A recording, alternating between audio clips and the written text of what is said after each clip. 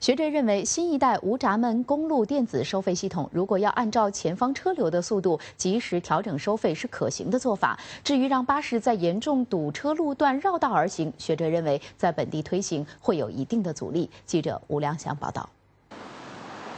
现行的闸门式公路电子收费系统，将近二十年来，按照不同的车种及不同的时段来采取一次性的收费。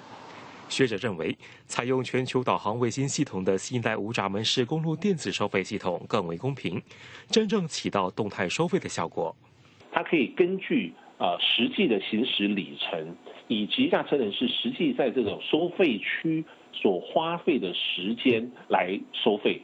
那么，当然，它具体采用的这种收费的标准，到底是依据里程，还是依据行驶时间，还是依据当时的拥挤状况，还是统合性的？这个还有待于政策上的一个设计。新一代公路电子收费系统预料会在今年下半年颁发合同，目标是要在约二零二零年启用。实行的初期。应该是跟目前现行的这个系统是相当的接近。如果在未来的公路是才呃相当拥挤的一个状况，驾车人士依然执意要来行驶，收费的标准以及它收费的幅度自然就会比较高。